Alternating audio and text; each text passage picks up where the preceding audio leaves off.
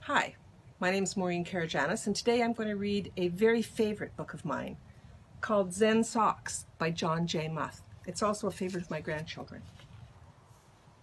Leo and Molly sat on the porch of their new home. Look, said Leo, it's going to happen again. Yep, it's almost time, said Molly. What's his name again? said Leo. Mr. Quiet Puddle? Stillwater, said Molly.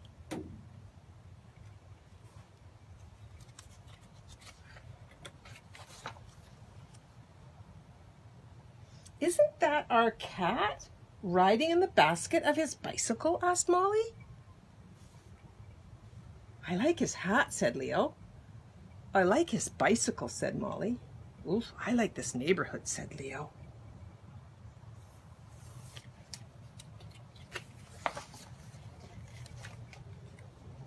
Hi, Stillwater, said Molly. That is our cat. Is it? said Stillwater. I know your cat. Today he asked to go for a ride. Really? said Leo. I didn't even know he liked riding bicycles. Yes, and he sometimes likes to come over and sleep on the moss under the cherry tree, said Stillwater. That's his name, said Molly. Cherry tree, said Stillwater. Moss, said Molly. Ah, Moss. Nice to know your name, said Stillwater.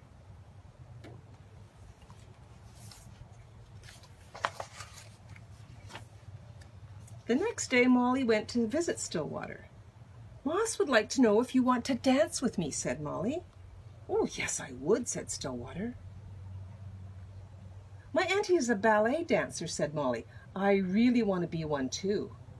I think that would be wonderful, said Stillwater.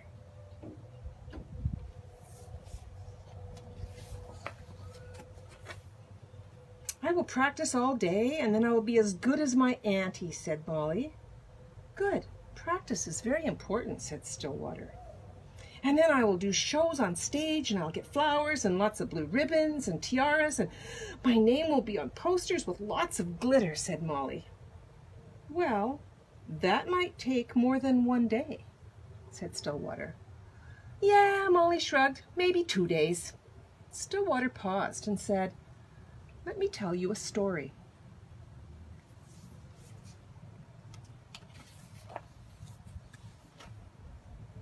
The Tale of Banzo's Sword There was once a young fellow named Jiro.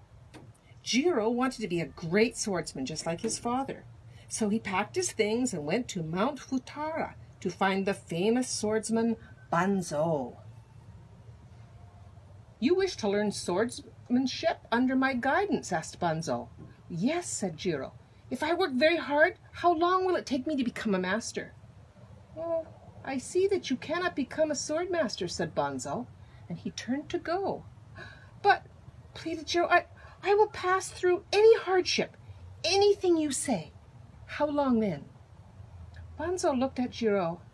Oh, maybe ten years. My father's getting old. I want to show him I'm a great swordsman like him. If I work even more intensely, how long would it take? Ah, well then, Maybe 30 years, said Banzo. Wait, said Jiro. First you said 10 years, and then you said 30 years. I want to master this art now.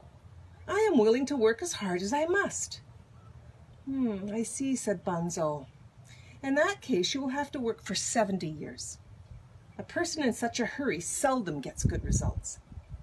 Jiro looked at Banzo and understood he was being rebuked for his impatience.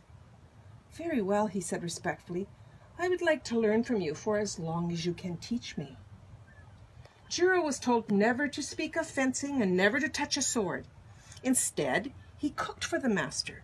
He washed the dishes, he made his bed, he cleaned the yard, he cared for the garden, all without a word of swordsmanship. Three years passed. Then one day Banzo crept up behind and gave him a whack with a big wooden spoon.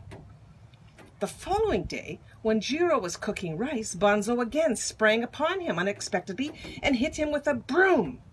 and then later with a wooden sword. After that, day and night, Jiro had to defend himself from unexpected thrusts. He learned to live on the balls of his feet, ready to dodge at any moment. Not a day passed that he did not have to think of the taste of Banzo's sword. Now you are ready to learn, Banzo told him.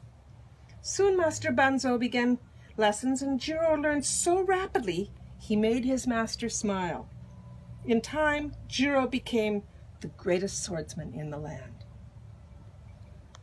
When Stillwater finished, Molly looked at him. I think I understand, she said.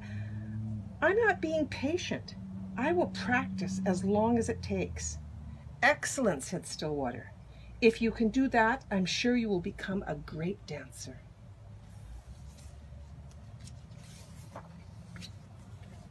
A few days later, Leo visited Stillwater. Hi, Stillwater, said Leo. Let's play. What are we going to play today? asked Stillwater. Giant robots, said Leo. I brought your favorites. You brought Blue Lightning Man and Sis Boom Ba? asked Stillwater excitedly. Yup, said Leo proudly. I'll be the good guys and you be the bad guys. Great, said Stillwater. I love the bad guys.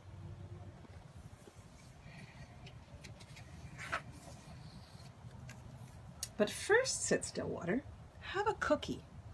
But don't take that one. I want to eat that one. It's the biggest. Oh, and, and don't take that one. It has more chips. I like a lot of chips. They're my favorite. Here, you have this one. It is small and broken. No, wait. This one is even smaller. Stillwater, said Leo, you are keeping all the good ones for yourself. That's mean. There are only five cookies. I want to be sure I get the best ones, said Stillwater. But you are being selfish, said Leo. You are being a bad guy.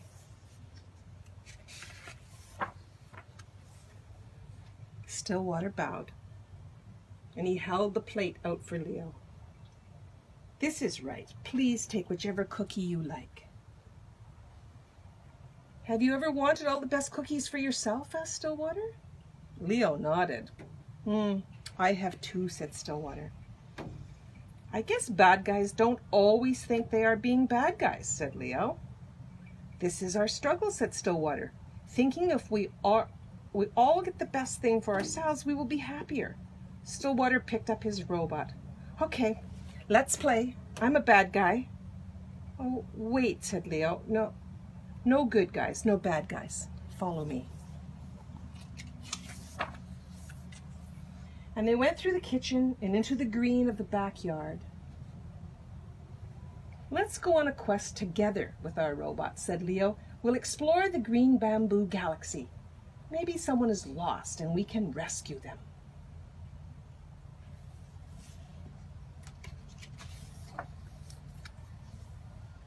One bright weekend morning, the four friends decided to go to the beach.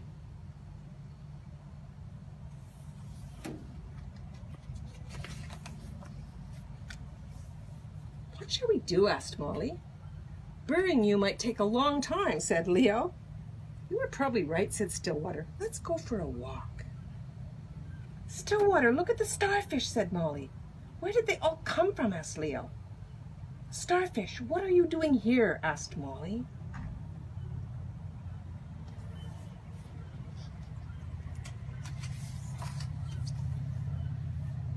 There are so many, said Stillwater, and the tide is going out. What will happen? asked Leo. They will dry out in the sun and perish. Molly picked up a starfish and threw it back into the ocean. That's good, Molly, said Leo. They began picking up the starfish one by one and throwing them back into the water.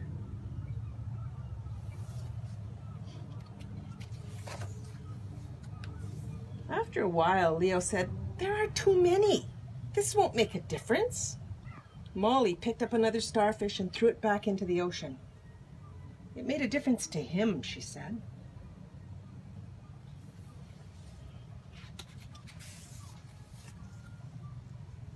Three of the four friends were very tired. The sun was going down. The beach had no more stars. Wow, said Leo, we did it. Molly smiled. Stillwater. Look up, she said. Stars.